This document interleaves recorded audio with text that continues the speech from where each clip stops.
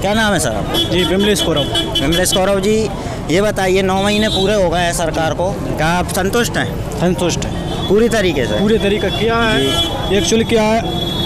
मतलब ज़्यादातर भाजपा के लोग हम तो वैसे किसान वर्ग के हैं। जी आप किसान हैं? जी। जी। तो भाजपा के लोग ज़्यादातर जो गाँव देहातों में ये फैलाते हैं कि किसानों का कर्जा माफ़ नहीं हुआ है। जी। ये तो सब जानते हैं कि सही बात है कि कर्ज माफ़ धीरे धीरे चल रहा है स्कीम क्योंकि खजाना उसको खाली मिला था मुख्यमंत्री को। तो जैसी व्यवस्था हो जा रही आधार पर वो कर्ज जा रहे हैं। बाकी किसानों हाँ पचास हज़ार तक का मतलब कर्ज माफ़ हुआ। है बाकी किसानों को जब बिजली बिल था वो हाफ़ हो गया। आज हम आए हुए हैं नरसिंहपुर शहर के जनपद मैदान में। आज यहाँ पे मुख्यमंत्री कमलनाथ आने वाले हैं। उनका आने का टाइम है साढ़े बारह बजे। जो नरसिंहपुर शहर स्थित चर्च ग्राउंड में उनका हेलीकॉप्टर लैंड होगा। हेलीकॉप्टर से उतरने के बाद जिला चिकित्सालय जाके सौ बिस्तर का जो अस्पताल बना, दस करोड़ की लागत से उसका उद्घाटन करने के बाद यहाँ जनपद मैदान आके सभा को संबोधित करें। देख सकते हैं यहाँ पे थोड़ी देर बाद मुख्यमंत्री कमलनाथ आने वाले हैं। जिला चिकित्सालय में यहाँ पे आके उद्घाटन करेंगे। उद्घाटन करने के बाद जनपद मैदान में जाके सभा को संबोधित करेंगे।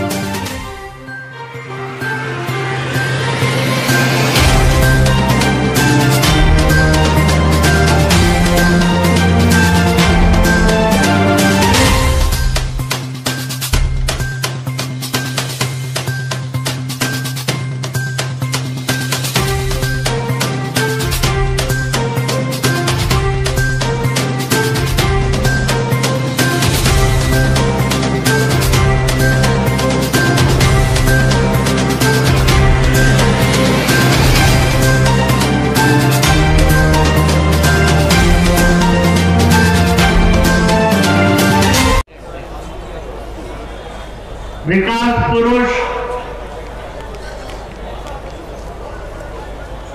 परम आदरणीय कमलनाथ जी मध्य प्रदेश विधानसभा के अध्यक्ष, नरसिंहपुर की माटी के सपूत, आदरणीय एनपी प्रजापति जी, मंच पर विराजमान मध्य प्रदेश शासन के मंत्री, इस ज़िले के प्रभारी मंत्री भैया तरुण भानोट जी, भाई तुलसी सिलावट जी। श्रीमती संध्या जी।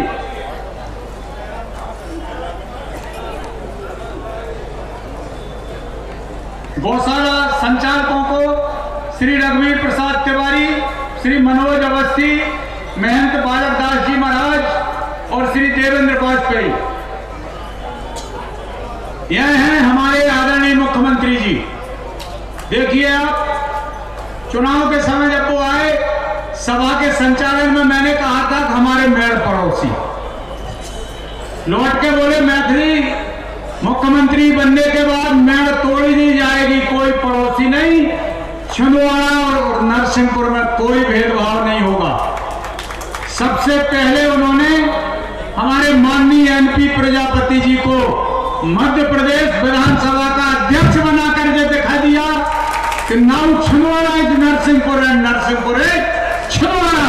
तालियों से ऐसे हमारे यशस्वी विकास पुरुष आदरणीय मुख्यमंत्री जी का पुरजोर तालियों से एक बार स्वागत करें। दिल्ली हूँ हूँ हाँ।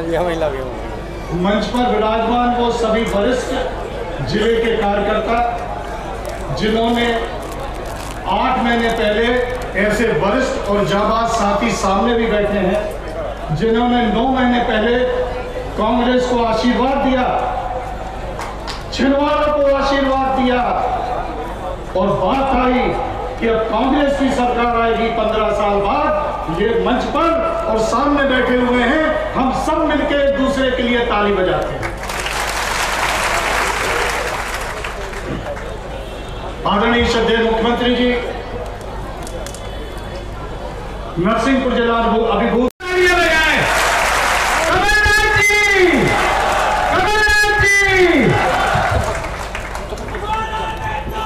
हमारे मध्य प्रदेश विधानसभा के अध्यक्ष और बहुत बहुत पुराने मेरे साथी, मेरे भाई एमपी प्रजापति जी, मंत्रिमंडल में मेरे साथी तरुण भनोट जी, तुलसी सिलावट जी, लखन गंगोरिया जी, मेरे लोकसभा संसद में मेरे रहे हुए साथी और मंत्रिमंडल में रहे हुए मेरे साथी सुरेश पचौरी जी, संसद में रहे हुए मेरे साथी रमेश्वर नीकरा जी मैथिली शरण तिवारी जी हमारे विधायक संजय शर्मा जी, श्रीमती सुनीता पटेल जी, देवेंद्र राय जी, सुनील जायसवाल जी, दीनदयाल डिमोले जी दीवान शैलेंद्र पटेल जी, लखन सिंह पटेल जी, संदीप पटेल, हमारे जिला परिषद के अध्यक्ष विनय दुबे जी, हमारे भूतपूर्व विधायक, सभी कांग्रेस के नेतागण, कांग्रेस परिवार के सदस्यगण आदरणीय बुज़ुर्गों, भाइयों और बहनों, बहुत खुशी हुई नरसिंहपुर आकर बहुत पुराना संबंध है आपसे आप तो पड़ोसी के नाते। बहुत बहुत समय से ये संबंध है। मुझे याद है नरसिंहपुर से कितने सालों से गुजरते हुए जब यहाँ सड़कें टूटी फूटी थी नरसिंह नरसिंहपुर तो आज का पहचाना भी नहीं जाता, जैसे छिंदवाड़ा नहीं पहचाना जाता। आज नरसिंहपुर भी नहीं पहचाना जाता। यहाँ आकर तो मुझे 40-50 साल पहले की अपनी जवानी भी याद आती है।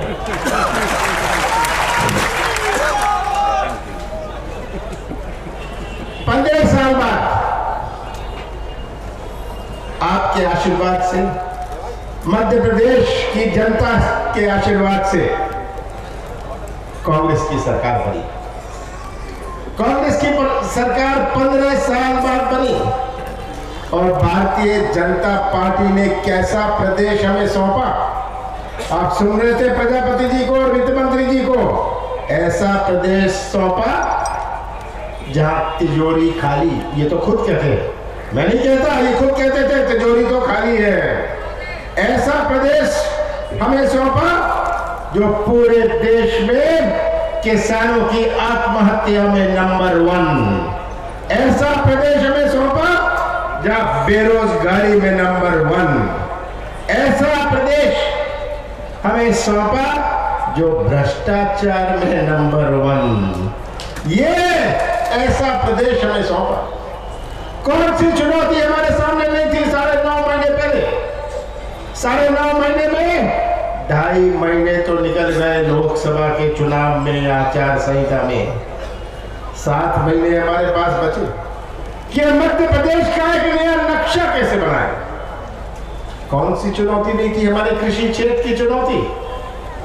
हमारे कृषि क्षेत्र की कितनी बड़ी चुनौती? हमने वचन दिया था कि हम शुरुआत करेंगे। हम शुरुआत करेंगे किसानों का कर्जा माफ़ करने में। किसानों का कर्जा हमने नरसिंहपुर में। बीस हज़ार तीन सौ बाईस किसानों का कर्जा माफ़ किया है। और दूसरे चरण में, दूसरे चरण में जो पात्र है, उनका कर्जा माफ़ किया जाएगा। जो डिफॉल्टर थे, उनका कर्जा माफ़ किया। अब जिनके चालू खाते, जिनके चालू खाते हैं, पचास हज़ार तक का तो माफ़ किया। अब बाकी उनका कर्जा माफ़ किया जाएगा। पर आपको भी एक बात समझ नहीं है। जब इस पर जाँच हुई, कितने हज़ारों किसान मध्य प्रदेश में कितने लाख किसान, जिनका एक खाते से ज़्यादा, किसी के तीन खाते, किसी के चार खाते, उनका क्या उपाय? उन पर जाँच करी जा रही है, उन पर भी हम नीति बनाएँगे। जिनके दो खाते, तीन खाते, उनका माफ़ नहीं हुआ। जिनके दो लाख रुपए से ऊँचा उनका माफ़ नहीं हुआ। ये मैं स्वीकार करता हूँ। पर जब भारतीय जनता पार्टी या कोई कहता है कि कर्जा माफ़ नहीं हुआ, मध्य प्रदेश में 21 लाख किसानों का कर्जा माफ़ हुआ है। और भारतीय जनता पार्टी ने 15 साल तो ये गुमराह बरगलाने की राजनीति करी है। अब फिर से उनकी ये आदत बदली नहीं है। उनकी आदत बदली नहीं है इन्होंने किसानों का दुख नहीं देखा, इनकी आँखें नहीं चलती थी। हमारे बेरोजगार नौजवानों की पीड़ा नहीं सुनी, कान नहीं चलते थे। मुँह बहुत चलता है इनका। पहले भी चलता था मुँह, और आज भी इनका मुँह बहुत चलता है। आँखें नहीं चलती, कान नहीं चलता। मुँह चला के अपना प्रदेश चलाया। पंद्रह साल ये कलाकारी और गुमराह की राजनीति से। ये तस्वीर आप सबके सामने है। आज बेरोजगारी में नंबर वन सबसे बड़ी चुनौती है। मुझे कृषि क्षेत्र की चुनौती है, पर कृषि क्षेत्र में हम क्रांति लाना चाहते हैं। कृषि क्षेत्र में आपका गन्ना हुआ। गन्ने के लिए भी एक नई नीति लाएँगे कि किसानों के साथ न्याय हो, किसानों को सही मूल्य मिले। क्योंकि जब हमारे किसानों के साथ न्याय होता है और उनकी क्रय शक्ति होती है, खरीदने की ताकत होती है। तो गाँव में किराने की दुकान का भी व्यापार चलता है, हमारी आर्थिक गतिविधि बनती है प्रदेश की, जो हमारे प्रदेश की अर्थव्यवस्था को मज़बूत बनाती है। तो हम कृषि क्षेत्र में एक नई क्रांति लाएँगे। हमारे जो गन्ने का क्षेत्र है, हम विचार कर रहे हैं। आपसे बैठ के बात करेंगे, ताकि आप भी कहें कि जो हमें कभी नहीं मिला, अब मिलने जा रहा है। हम किसानों, वचन बंद है इसमें हम नई क्रांति लाएँगे। पर सबसे बड़ी चुनौती तो हमारे नौजवानों की भविष्य की आज का नौजवान की अपनी दुनिया। हमारे बुज़ुर्गों की दुनिया कुछ और थी। हमारे बुज़ुर्गों ने तो अपना जीवन काट लिया। बिना सड़क के, बिना पानी के, बिना बिजली के। पर आज का नौजवान जो इंटरनेट से जुड़ा है, आज का नौजवान इसकी अपनी सोच है। आज के नौजवान में एक तड़प है। आज का नौजवान कोई ठेका, कमीशन नहीं चाहता। आज का नौजवान तो व्यवसाय के मौका या अपने हाथों को काम चाहता है। और यही सबसे बड़ी चुनौती है, जो नौजवान हमारे मध्य प्रदेश का निर्माण करेंगे। ये नौजवान जो हमारे देश का निर्माण करेंगे। यही नौजवानों का भविष्य जो सुरक्षित नहीं रहा। आज की नई पीढ़ी अगर अंधेरे में रही, इनका भविष्य अंधेरे में रहा, कैसा निर्माण होगा मध्य प्रदेश का? कैसे रोज़गार के नए मौके बने, कैसे व्यवसाय के नए मौके बने? ये हमारे सामने चुनौती है कि हमारी ये नई पीढ़ी नौजवान, जिनमें एक तड़प है, इनकी सोच है, इनका नज़रिया है इनका दृष्टिकोण है। इनकी दुनिया को चलाए तो ये हमारे सामने सबसे बड़ी चुनौती है। और ये रोज़गार या व्यवसाय के मौके बनेंगे जब निवेश आए। आपके आगे लग गया ना का एक कारखाना। लग तो गया, पर इससे क्या समस्या हल हुई? कैसे व्यवसाय के नए मौके बने? कैसे नया इन्वेस्टमेंट आए, नया निवेश आए? और निवेश तो तब आता है जब कोई प्रदेश पर विश्वास रखे आप भी वहीं जाएँगे, उसी दुकान में, उसी बाज़ार में जाएँगे, जहाँ आपको विश्वास हो। आज मध्य प्रदेश में किसी को पंद्रह साल विश्वास नहीं था। कलाकारी से कितने सम्मेलन कर लिए? चौदह साल, तेरह साल करते रहे सम्मेलन।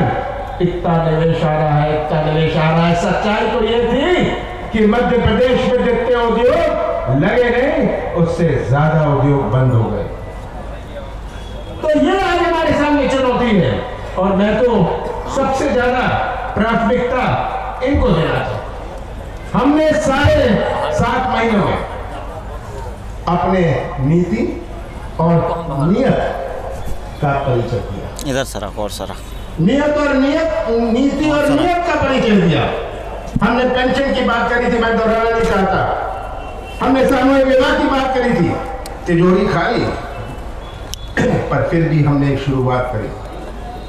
और हम वचनबद्ध हैं। हम वचनबद्ध हैं कि हम मध्य प्रदेश में एक नया इतिहास बनाएँगे ये हमारे सामने चुनौती है।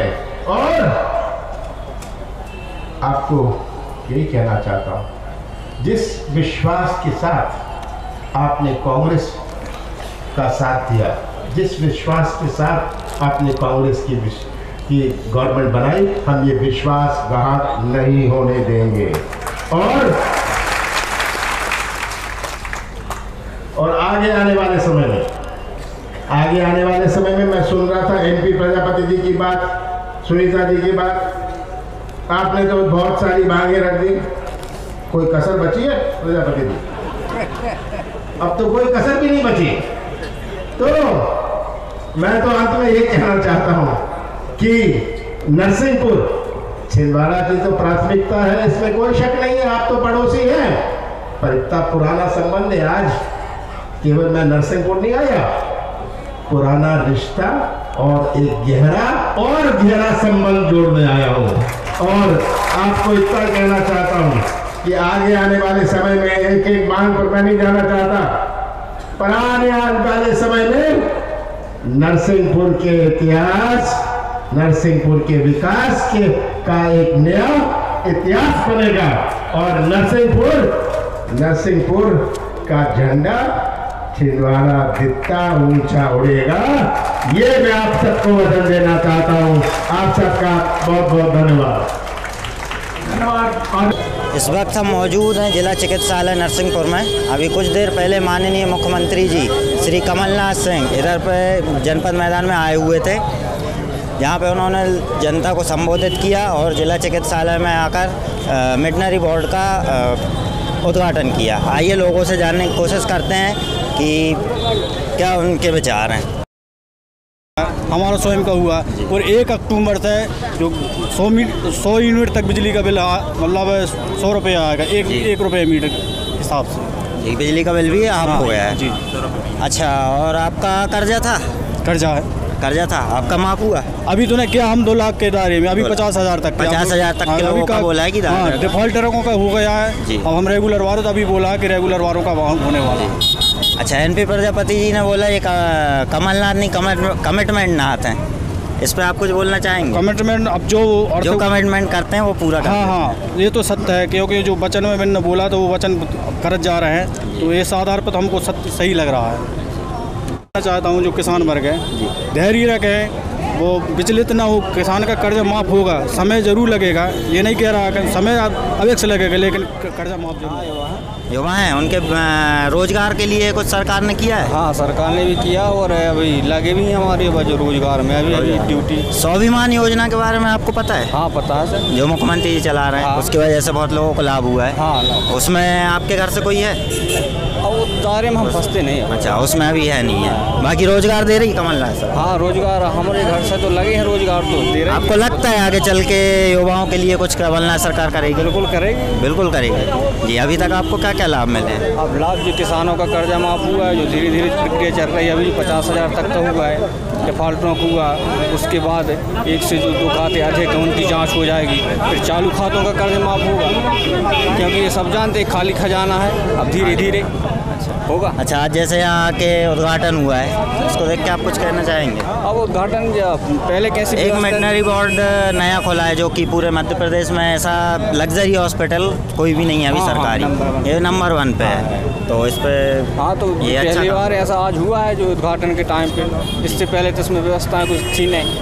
और व्यवस्थाएँ करके जो आज उद्घाटन हुआ तो ये सरकार कुछ तो कर रही है तो सबको दिखता तो मतलब जो नौ महीने वो सफलतापूर्वक सफलतापूर्वक। सरकार अच्छी हमारे साथ खड़े हुए गाडरवाड़ा ब्लॉक के विधानसभा अध्यक्ष चीजली के आइए उनसे बात करते हैं। आपका नाम छोटे राजा कौरव। छोटे राम कौर आपकी समस्या क्या है? समस्या कुछ नहीं है ऐसी तो हमारे लिए कुछ समस्या नहीं जैसे मुख्यमंत्री जी आए आपको क्या लगता है?